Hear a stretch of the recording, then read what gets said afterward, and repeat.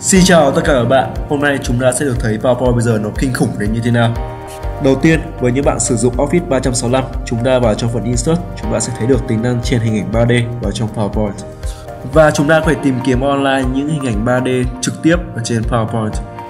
Những hình ảnh nhìn qua thì rất bình thường, nhưng khi chúng ta xoay trục 3D của nó, điều bất ngờ sẽ diễn ra. Và đây chính là cái điều kinh khủng mà mình nói đến ở đầu video có nằm mơ mình cũng chưa bao giờ dám tưởng tượng ra cái viễn cảnh PowerPoint có thể làm được như vậy. Những bài thuyết trình, những bài giảng sẽ trở nên sinh động, trực quan và hấp dẫn hơn bao giờ hết nhờ vào tính năng 3D này. Nhiều bạn sẽ bị hiểu nhầm là tính năng này sẽ chỉ có một số những hình ảnh mẫu có sẵn. Không, nó không khác gì chúng ta tìm kiếm hình ảnh ở trên Google cả. Giả dụ mình tìm kiếm hình ảnh một số 9 để làm slide giới thiệu về Nice Slide chẳng hạn. Mọi người sẽ thấy số lượng hình ảnh được tìm kiếm ra rất nhiều. Tất cả hình ảnh đều mang lại chất lượng và trải nghiệm rất tuyệt vời dành cho người dùng.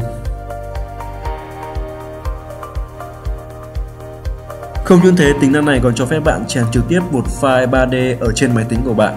Tính năng này sẽ đọc được một số dạng đuôi 3D như sau. Những đuôi này các bạn hoàn toàn có thể tìm kiếm dễ dàng ở trên Google. Mọi người có thể thấy hình ảnh rất ok, phải không ạ? Không chỉ có được những hình ảnh rất tuyệt vời, tính năng này còn giúp chúng ta làm những hiệu ứng rất ấn tượng nữa.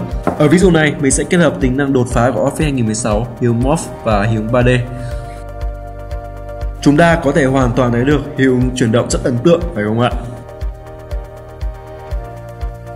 Và nếu các bạn vẫn còn nhớ thì toàn bộ hiệu ứng chuyển động trong video tuyển sinh khóa 14 của Nightslide đều được tạo nên bởi hiệu Morph và kết hợp với tính năng 3D này. Và trong bản cập nhật Insider mới nhất của PowerPoint gần đây, sự tuyệt vời của tính năng 3D này còn diễn ra ở mức độ đáng kinh ngạc hơn nữa. Đó chính là chúng ta có thể tạo animation cho hình ảnh 3D, đồng nghĩa với việc hình ảnh 3D có thể chạy xuyên suốt trên toàn bộ slide của mọi người.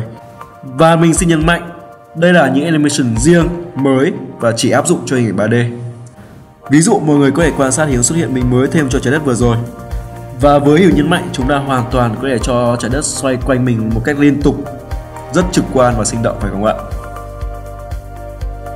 Với những hiệu này chúng ta hoàn toàn có thể điều chỉnh góc xoay, tốc độ và số vòng lặp của nó. Chúng ta có thể tạo hiệu ứng chuyển động lắc qua lắc lại như thế này.